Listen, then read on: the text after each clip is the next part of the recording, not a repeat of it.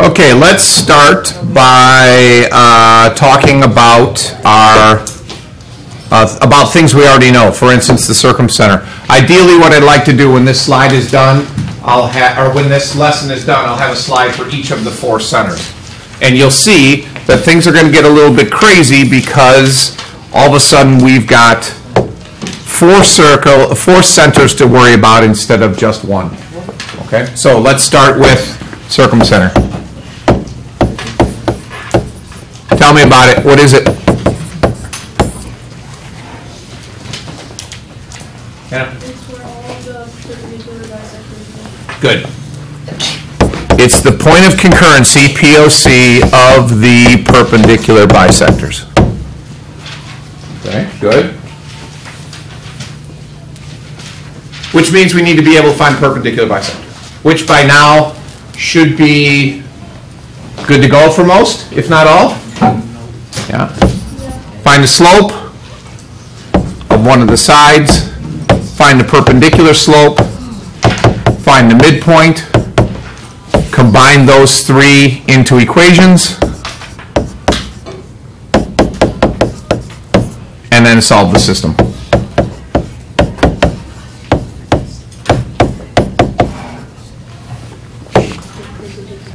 So we have this.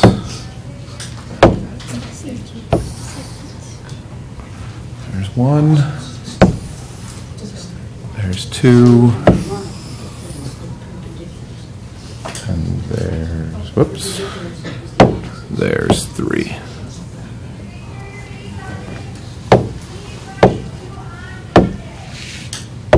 Okay, so they're perpendicular, meaning these are all right angles, and they're bisectors. So each of these segments is going to be congruent. Now, the other thing we talked about very briefly was, some of you used acute triangles. Where was the circumcenter? Inside, correct? Obtuse? Outside? And right? Good. Midpoint of hypotenuse. Hypotenuse. Okay, good. And you've had tons of practice finding that center. Any problems there? All right, let's move on to the next one. The next one, we're not going to do any calculations with. You'll understand why in a second. So we're going to take a triangle again. Make this pink. Uh, hmm. And this time, we're going to use angle bisectors. Okay, So angle bisector from here, angle bisector from here, and angle bisector from here.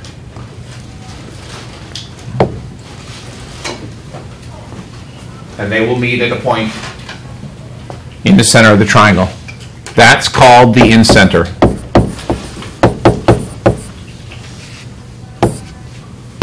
Point of concurrency of angle bisectors. Now, why aren't we doing calculations with this? The reason is that we don't know the math to find the equations of those angle bisectors. There we go. It requires trigonometry, which we haven't covered yet, but we will cover that by the end of the chapter.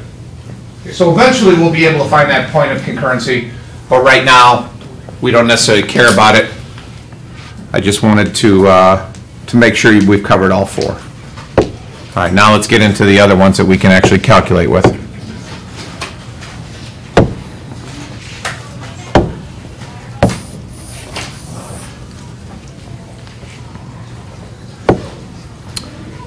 Okay, so we did circumcenter was the perpendicular bisector, in-center is the angle bisectors. Next, we're going to do what's called a centroid. Okay, So if I find the midpoint of one of the sides, and I connect segment, you know, I don't want to use green here, let me change the color there. Let's go pink. This is a hideous color combination. And then go from here to here, and from here to here. That's called the centroid. The centroid is the point of concurrency of the medians. And since we don't know what a median is, I should probably tell you what that is. A median is a segment connecting a vertex and the midpoint of the opposite side.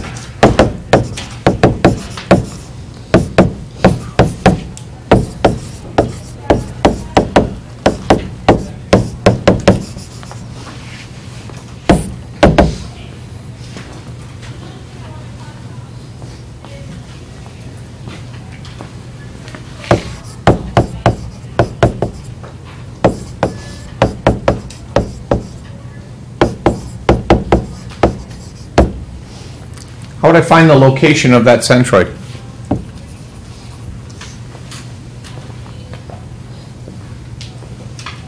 Given, of course, you know the coordinates of the three points of the triangles.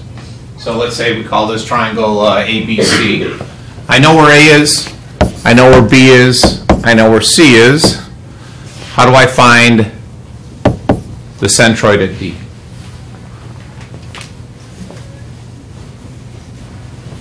Okay? Set up an equation for all of the lines and then Good, but talk me through that process. So let's suppose, uh, let's call this um, M, N, and P. Let's suppose I want to do the equation of uh, MB. How would I do that?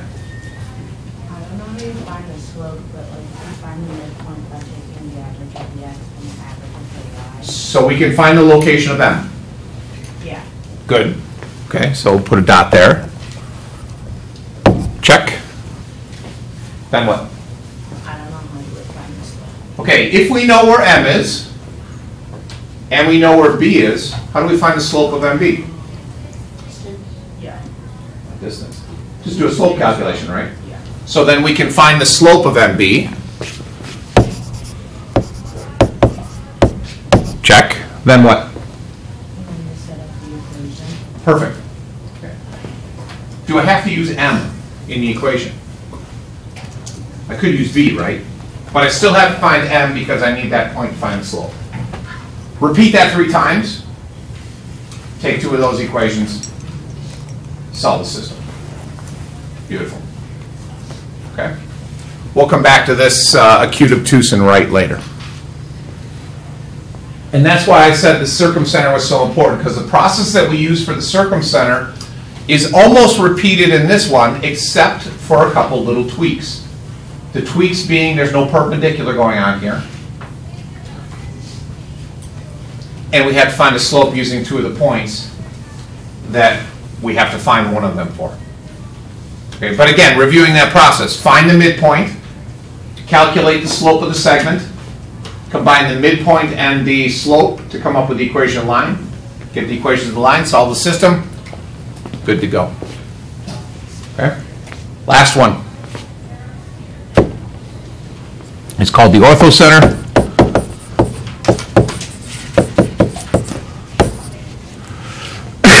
Excuse me.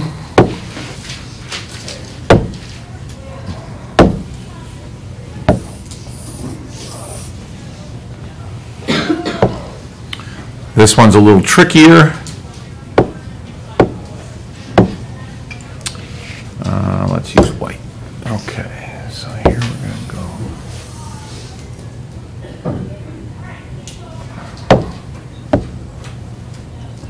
There's one.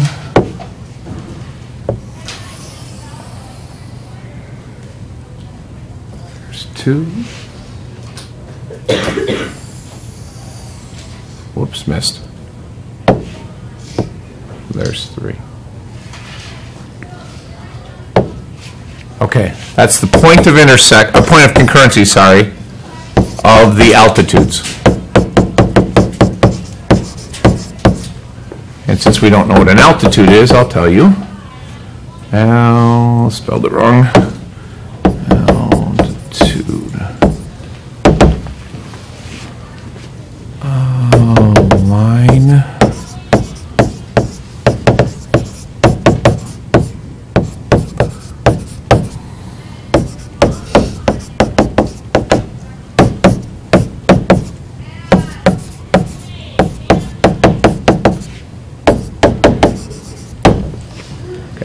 Altitude is a line perpendicular to a side through a vertex. These are perpendicular, and they pass through the vertices.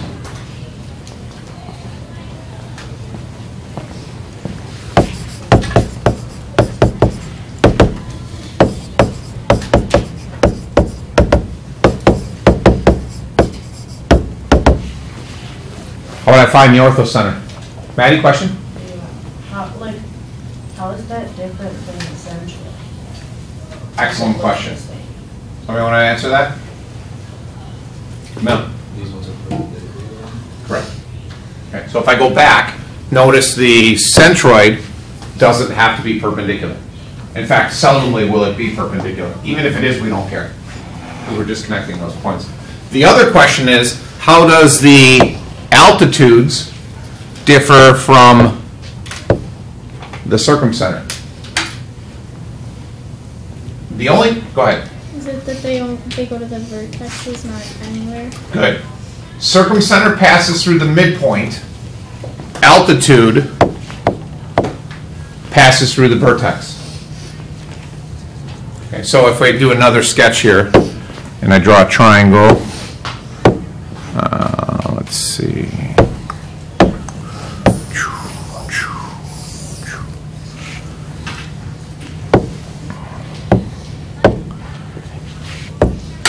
If I do the perpendicular bisector of this segment XY, whoops, what's going on here? Perpendicular bisector of XY, it's going to go through the midpoint, and it's going to be perpendicular to the line, so it looks something like that. Okay, that's the perpendicular bisector. That's for the circumcenter. The altitude, however, is perpendicular, but passes through the vertex.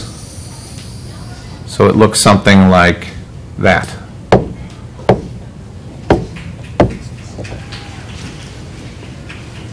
This is an altitude. This is a perpendicular bisector. What do you notice about the perpendicular bisector and the altitude? They're parallel, very good. So they'll have the same slopes. Okay, question? Like, altitude it always, like, how do you know what angle the vertex? Its angle is determined by the perpendicular to the other side. Okay, so in other words, I'm going to take this perpendicular segment, so I created a segment that's perpendicular to this side, and I'm going to slide it around until it passes through the vertex. Whereas if it were a circumcenter, I'd slide it around until it passes through the midpoint. Okay? All right, we're going to do two things then. Number one, I'm going to take you through a problem, one of these other ones. And then number two, we're going to, or you are going to answer the question obtuse, acute, and right for the centroid and for the orthocenter, where they're located. Okay, so we'll do that after we work through an example. So let's take a triangle.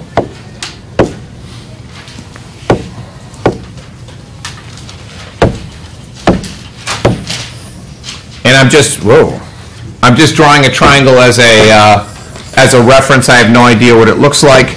And we're going to generate some points here. We'll call this um, E, L, K. Uh, Eric, where's E? Right there. Yeah, I know. Good, thank you. What's the coordinates of E? Uh, thirty-two. Thank you. Uh, KK, where's K? Um, five points. Okay.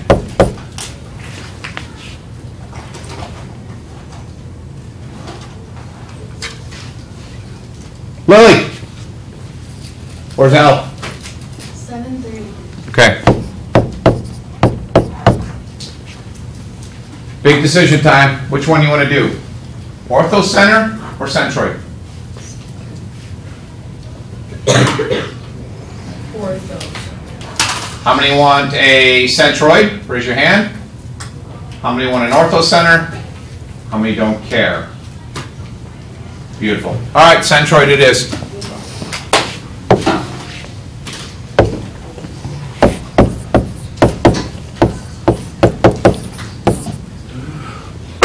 All right, Maddie, you explained this earlier, so I'm going to rely on you for some help here. What do I need to do? So you need to find your midpoint of KE. Beautiful. Uh, U2 groups find the midpoint of KE. U2 groups find the midpoint of KL. U3 groups are finding the midpoint of EL. Do that quickly, please. Also, come up with a letter that you want to call your midpoint.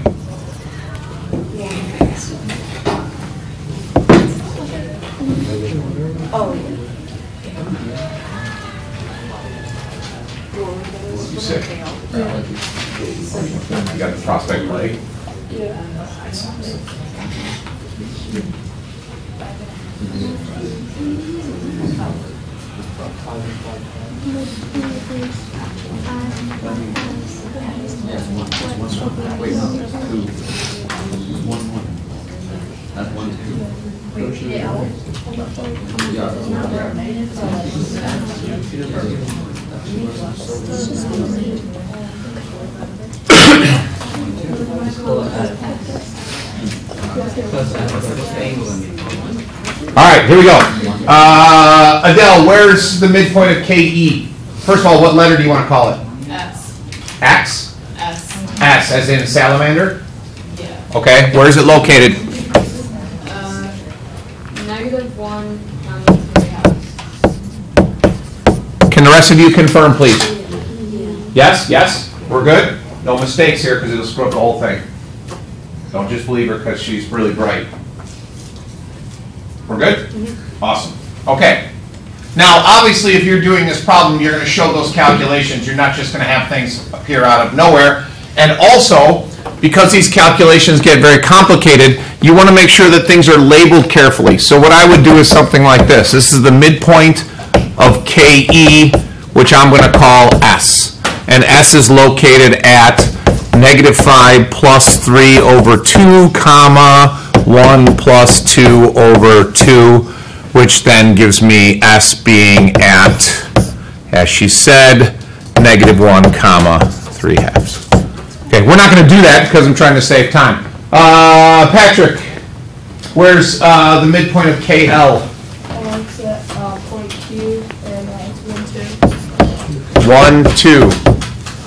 One, two. Confirmation? Yeah. Beautiful. And uh, Caitlin, where's the midpoint of EL? Um, five, five. Confirmation? Yeah. Good. What letter is it?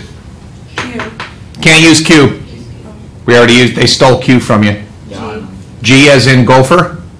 Okay. G. Beautiful. All right, Maddie, back to you. I got my midpoints. Now what?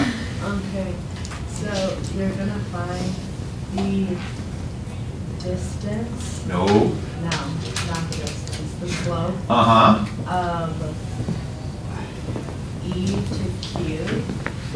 Okay, hold on a second. Let me get caught up here. Uh, let's use green. E to Q. Uh, which groups did Q? You two? Yeah. Okay, good. Then you two calculate the slope of EQ. All right. Uh, Manny, talk me through the other three. The the other three are? L to S, Uh-huh. and then G to K. Okay, so, uh, you guys are doing the slope of, forgot what I said, EQ. You three are doing the slope of SL, and you two are doing the slope of KG.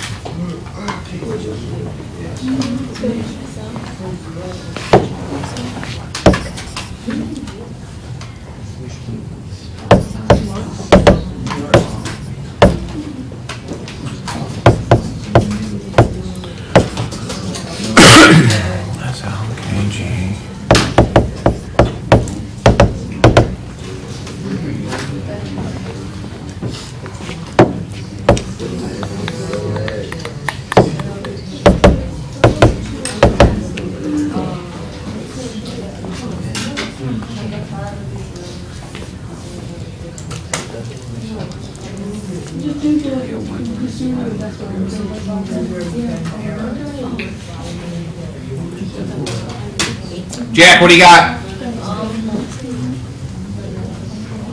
One point five over ten. Not acceptable. Can't have decimals in a fraction.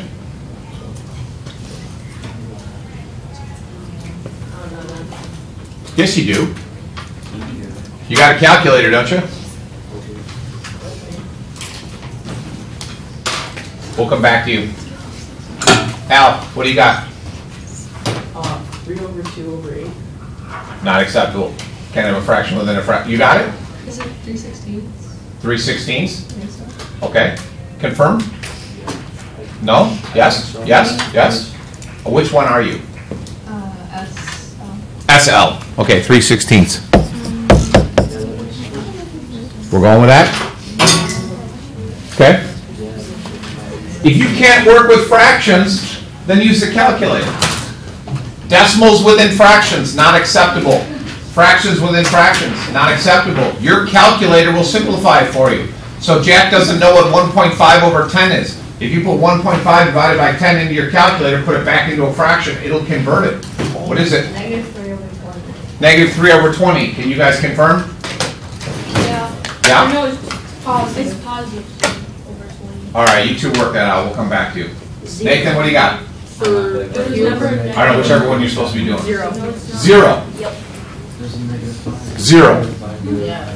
Zero. We chose bad numbers. Or we chose good numbers, depending on how you want to look at it. Okay, so minus if the slope of EQ is zero, what can you tell me about it? Horizontal or vertical? Are you sure? Five minus five. Good. Five minus negative five is negative ten. Dude, she's probably right, just kidding. Um, yeah, so that's ten. Five is ten. Good job, guys. What do we got? Positive three over twenty. Three over 20? Yeah, Okay, you guys agree? Yeah, Yeah, you don't care, do you?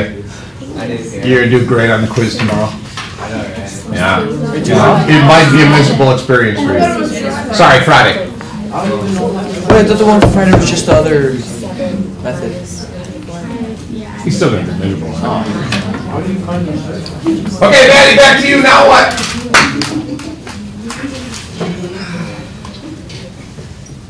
You're gonna find the equation, so I'll give you the equation for every single line. Okay, so, if we do the equation of SL, uh, here, let me scoot this up a little bit. SL would be, uh, y plus, nope, y minus, y minus 3 halves equals 3 sixteenths times the quantity x plus 1. The three halves is five halves. For SL. No, SL is 3 halves. Oh, I thought, okay. Yeah. Then KG would be, where's KG? Okay, what's K? I can't, I moved it up too far. There we go. Y, whoops. Y minus 5 halves equals 3 twentieths times x minus 5. And because we just happened to get a weird one here, we can do EQ, but it's gonna be a train wreck because the slope is zero. So y minus 2 equals 0 times x minus 1.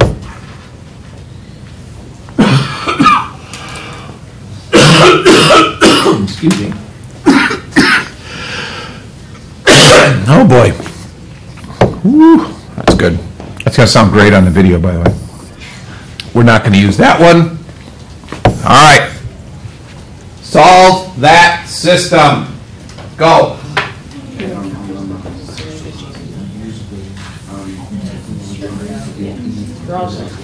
One is a little rough.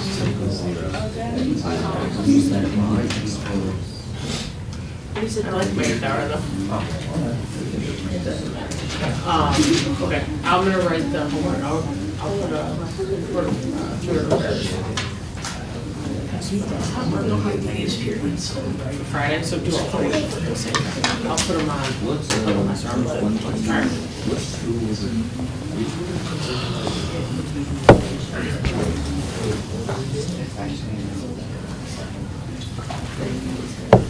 So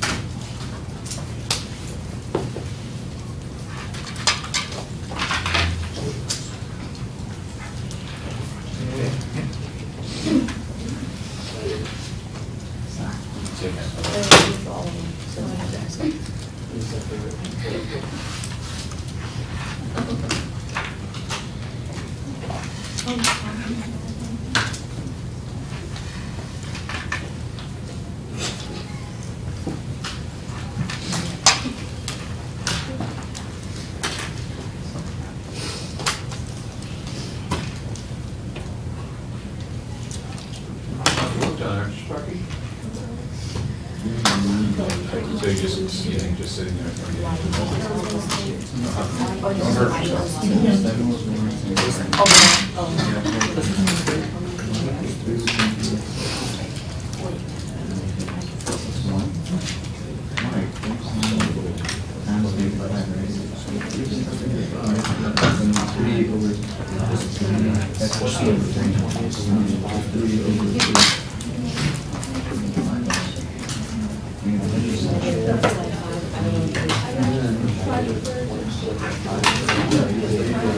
Next, yeah.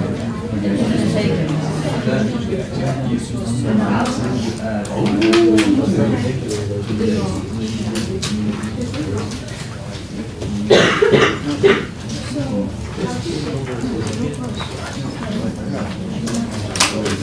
like some?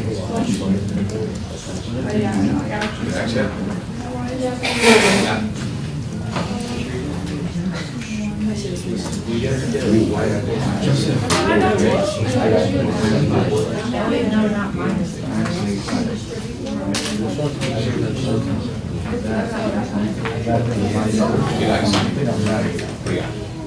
Oh, like they. Yeah, the value first.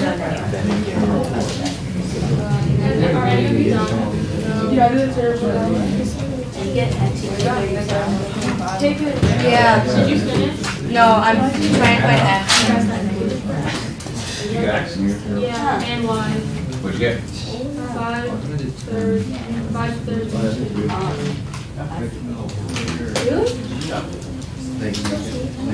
Wait, that's right. Oh. Three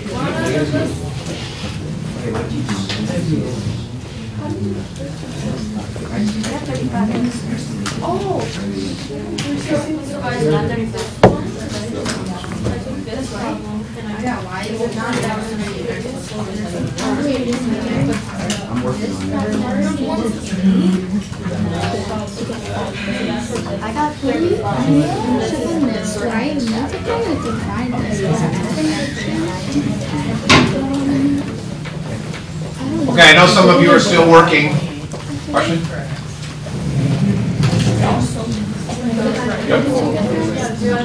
Okay, so, um, we're gonna work through this, uh, system together. Well, I'm gonna do it so that you can see what it looks like when you solve it. However, I will show you a little trick.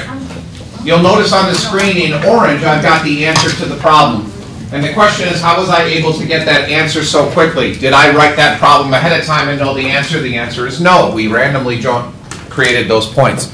The centroid has a unique property. And that unique property is, well, there's a couple. Number one, it's the balancing point of the triangle, which is completely irrelevant. But because it's the balancing point, you can easily find the centroid by taking the average of the x's and taking the average of the y's. So this will act as a nice check to see whether or not you have the answer correct. Do you understand what I mean by that? Negative 5 plus 3 is negative 2, plus 7 is 5, divided by 3, 5 thirds. 1 plus 3 is 4, plus 2 is 6, divided by 3 is 2.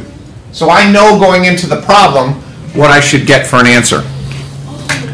Now, how are we going to get that out of that equation? And by the way, that only works for centroids. Can you do that again? Yeah, take the average of the x coordinates, Which ones, all of them? all three of them, add them up, divide by three. Take the average of the y coordinates, add them up, divide by three. And that tells you where you need to go when you solve this system. Which triangle, the original triangle, The original or not the, or the new? the original triangle. Now, how I solve the system might not be the way you like to solve the system, but since I'm doing the work, I'm gonna do it my way, and I'm gonna need some help, so make sure you have your calculators handy. I start by converting each of the equations into slope-intercept form. Whoops, go back up there.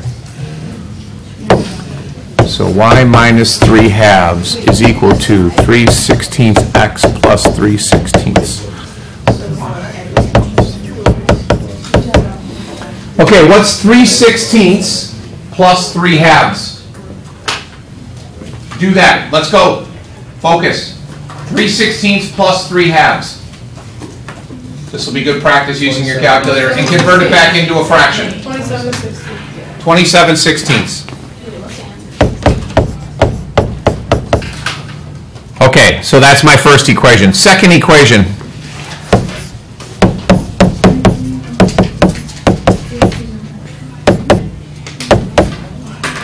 Uh, 15 twentieths would be 3 fourths.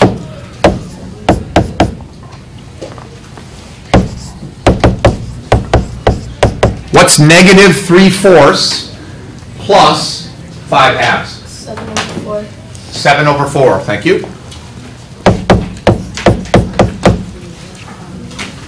Okay, so the reason I convert both equations into slope-intercept is because two things. Number one, I can then just set them equal to each other, and it makes it easier to find y later on. Okay, so if I combine these two, I get 3 sixteenths x plus 27 sixteenths is equal to 3 twentieths x plus 7 fourths. I don't like fractions, so I'm going to multiply first by 16. Yes, there's probably a big honking number I can multiply by to get rid of all of them at once, but I don't really care. 3x plus 27 is equal to uh, 48 twentieths x plus 28.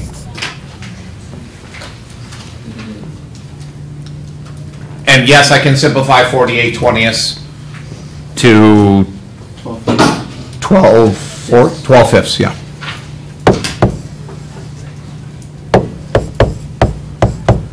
Oops.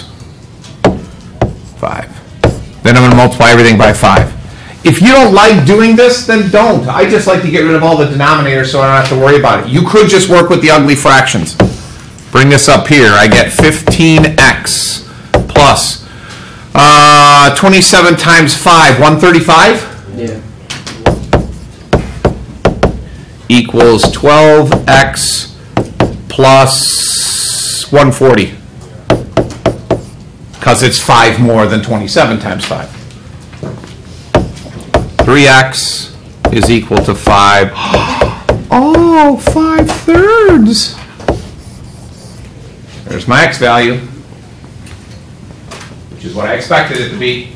Sometimes when you do these problems, and you saw this on the circumcenters, you get ugly numbers. That's okay. Because now all I do is I take 5 thirds, do this with me please, on your calculator. 5 thirds store x. So now whenever the calculator sees an x, it's going to put in 5 thirds. Then I go back to one of these equations, doesn't matter which one, and type it into my calculator. However, when you type it into the calculator, you got to put these fractions in parentheses. So parentheses, 3 divided by 16, close parentheses, x, plus parentheses, 27 divided by 16, close parentheses, enter. Convert it back into a fraction. If you need to, you won't, because it should just give you 2. Please tell me it gives me 2.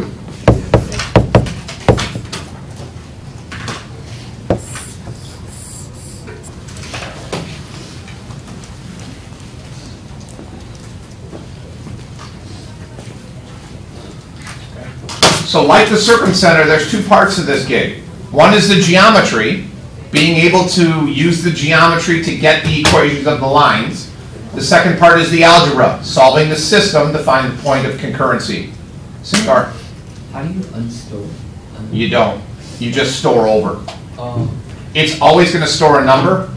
You can't clear that. So you can just store numbers over what's already stored. Okay. Problems? Questions?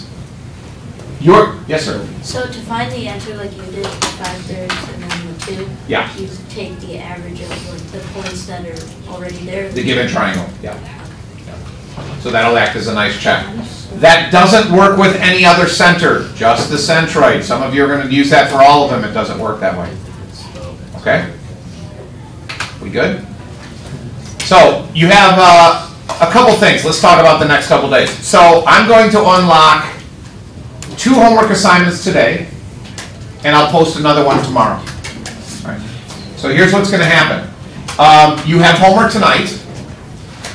You'll have homework tomorrow, and you'll have homework Friday. However, as I mentioned, I won't be here tomorrow or Friday. So, I'm gonna unlock everything, and you can work at whatever pace you want. You have the entire period tomorrow to work on this stuff. Okay, I'll try to get answers to you also, so you can check your work. Mr. Schaefer, who will be here, is one of the nicest people in the world. He is a math guy. He'll probably be able to help you a little bit with some of the algebra. I don't know how good he is on the geometry, but with the algebra, he'll be able to help you a little bit. Friday is the quiz, and I've already told you what's on the quiz. And then you'll have homework over the weekend. On top of those three homework assignments, which will be due on Monday, I also need you to figure out where the center, where the orthocenter is for the three different triangles, like, I don't know, maybe GeoGebra would help nicely with that, and for the centroid. Where is the centroid if it's acute or obtuse right? Where is the orthocenter for acute obtuse right? Pregunta. So do you solve the orthocenter the same way that you solve the centroid? Nope. Good question. How would I solve for the ortho Joseph? Nope. Midpoints are not involved. Isabel? It has to be um, perpendicular. So again, answer my question. How would I find it? Oh, um, you'd find the slope of the first, like, triangle sides. Good, And then, um, flip it so you could have the slope of that. good. Take the flopposite to get the slope. Um, use the vertex of the other one to make a line. Perfect. Okay? I think the orthocenter is the easiest to find, because really all you have to do is one calculation, you gotta do a slope calculation. You use the flopposite slope and the vertex to set up your equation. Then solving the system is the same as the other. Okay? Any questions about what's going on here for the next couple days? Beautiful. Monday, when I come back, we will uh, review all of this stuff to get you ready for a quiz on Tuesday covering all of the centers. Patrick, So, uh, was on Fridays only on circumcenters? only circumstances. Okay. Okay. Anything else? Hot diggity. Okay, let me unlock those uh, homeworks for you. So tomorrow's class, are we just working on the homework assignment? You got it.